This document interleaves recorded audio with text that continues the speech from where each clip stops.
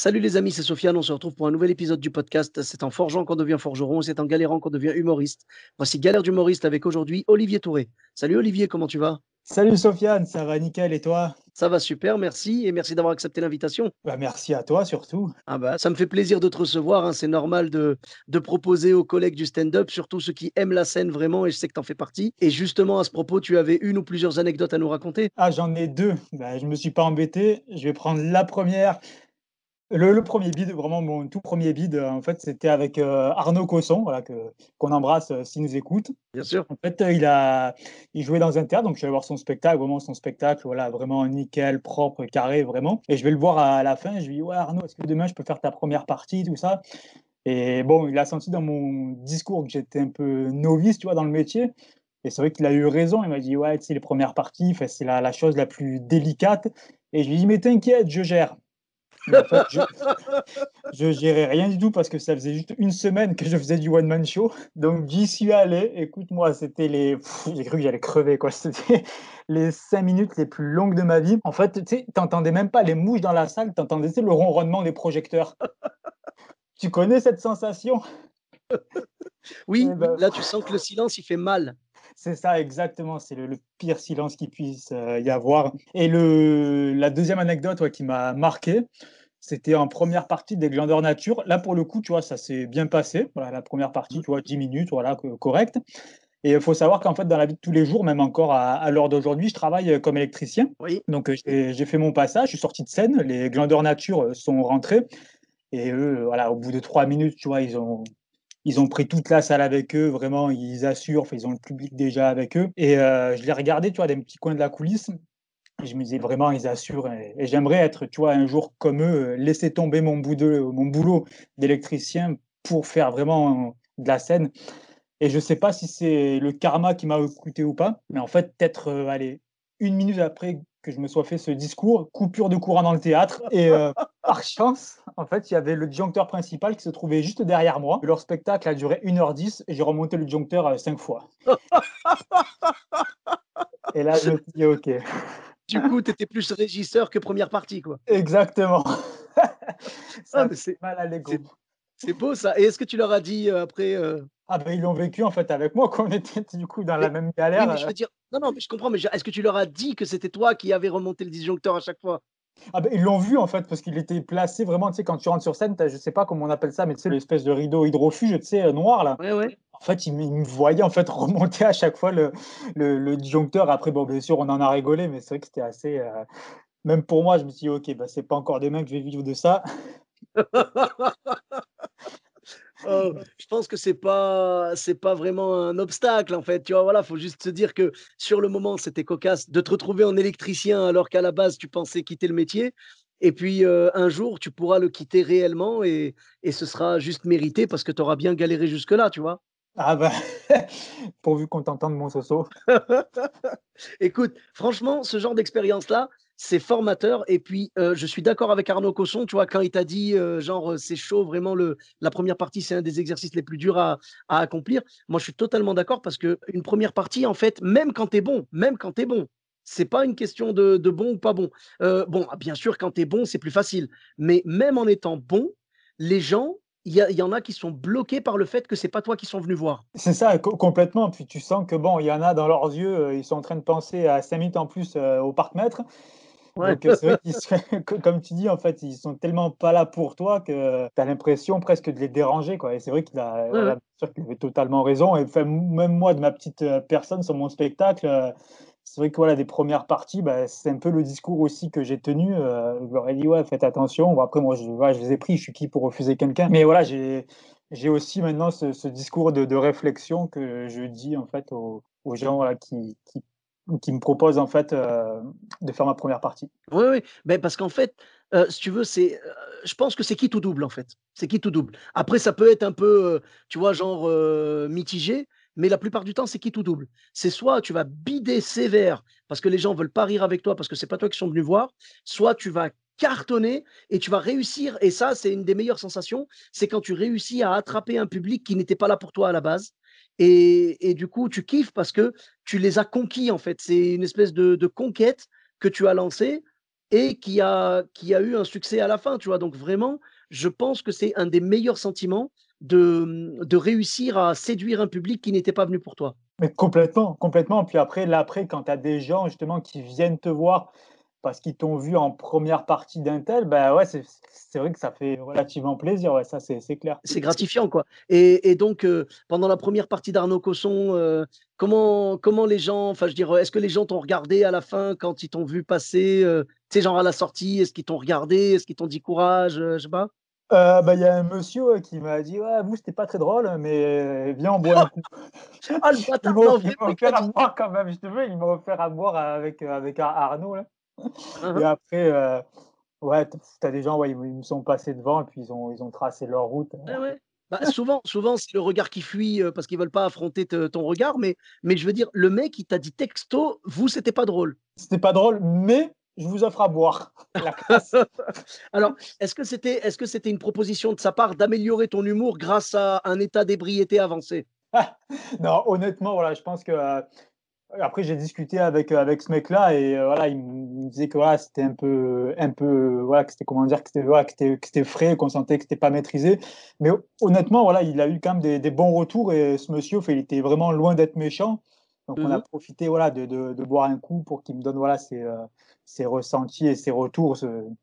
Donc, ça partait quand même d'un bon sentiment, même sur le coup je sais pas trop si le mec il se fout de toi ou quoi, tu vois, à te proposer euh, de t'offrir un verre. Bah, alors mais... en fait, non, pour le coup, c'est vrai moi, je te dis, moi, je te dis, il y a deux solutions. C'est soit il s'est dit, euh, ce pauvre petit gars, il a besoin d'alcool pour être plus drôle, tu vois. Soit il s'est dit, c'était tellement dur et tellement douloureux, euh, vu que même les mouches se sont arrêtées de voler, tu vois. Et, et du coup, il a besoin d'alcool pour oublier ça, quoi. ouais, c'est. Ouais, je saurais pas te dire, mais c'est vrai que c'est deux théories qui sont complètement euh, plausibles, ouais, c'est clair. Et Arnaud Cosson, quelle a été sa réaction? Bah, franchement, sur le coup, il m'a dit ouais, c'était cool et tout. Et après, je l'ai recroisé sur un, sur un autre festival et au Festival d'Avignon. Et puis maintenant, voilà, on en rigole. Mais dans tous les cas, de toute façon, il a été adorable. Oui, voilà, c'est gentil de sa part. Et puis, avant ma pas, et après. oui, voilà, mais c'est pas, c'est pas méchant de sa part. Euh, si tu veux, il voulait te protéger parce qu'il sentait bien que tu étais novice, comme tu l'as dit. Complètement. Voilà.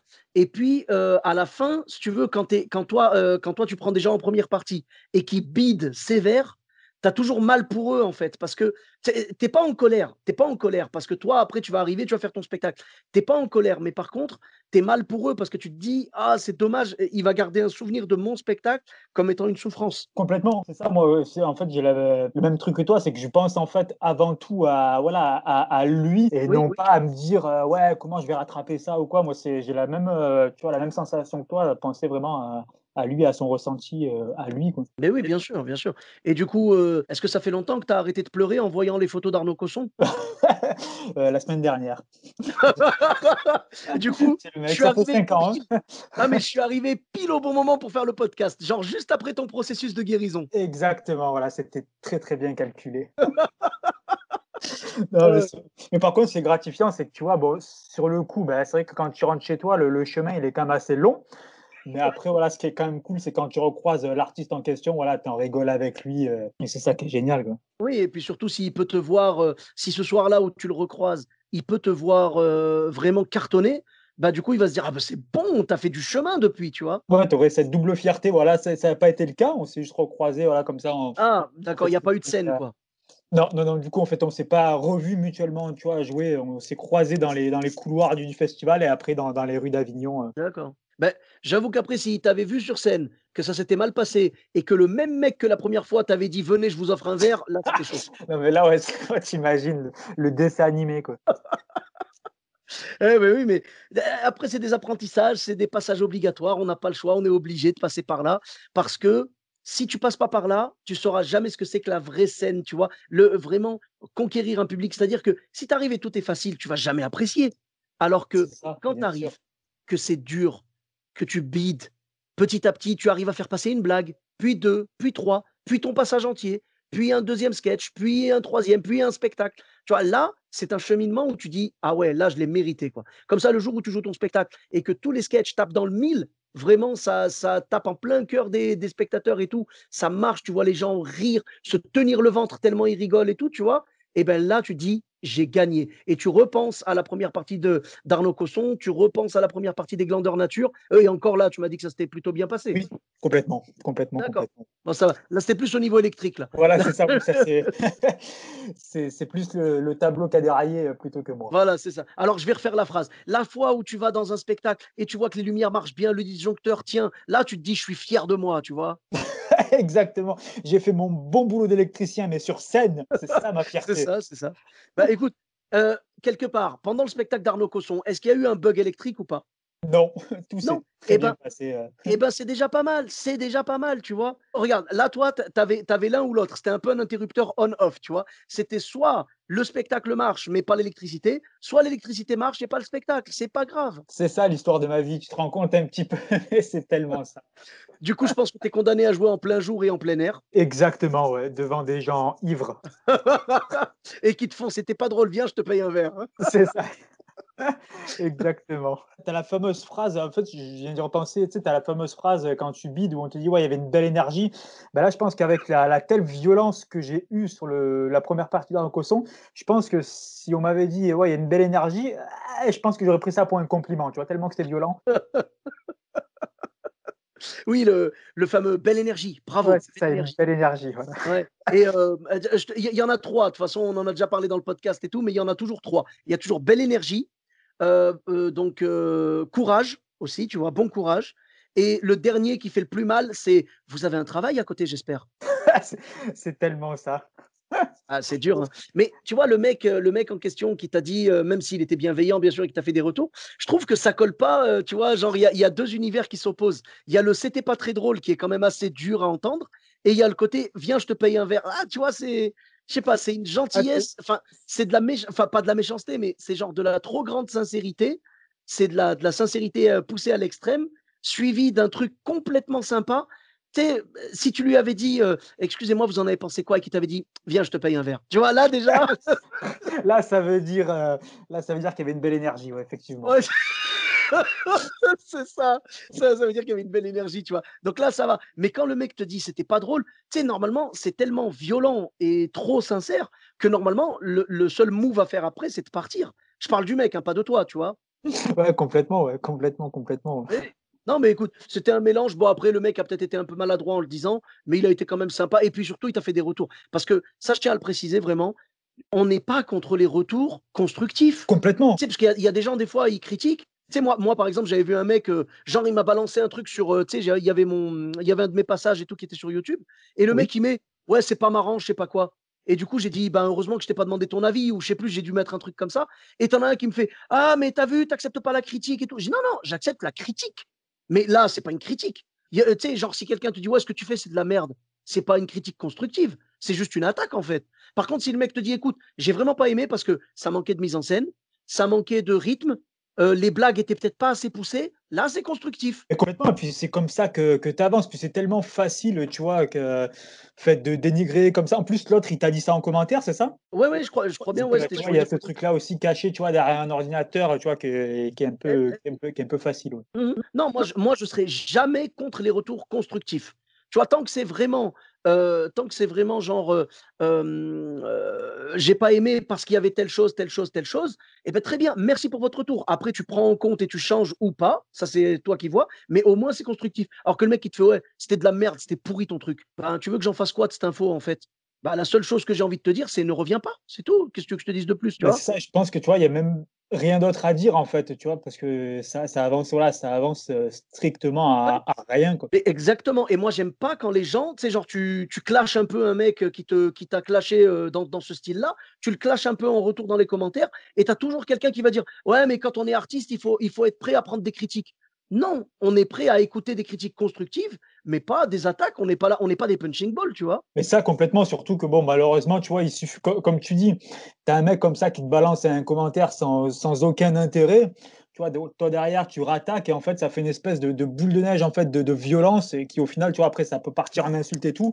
Mais au final, le point de départ, c'était savoir ce que le mec en avait pensé et ben, au final, tu n'en sauras jamais rien et tu auras eu une, une avancée de, de, commentaires violents. c'est un peu le, serpent qui se mord la queue, quoi, au final. Quoi. Exactement. Mais alors que ça sert à rien. La solution, c'est simple. C'est tu dis au mec, c'était pas très marrant, et tu lui payes un verre. Voilà, exactement.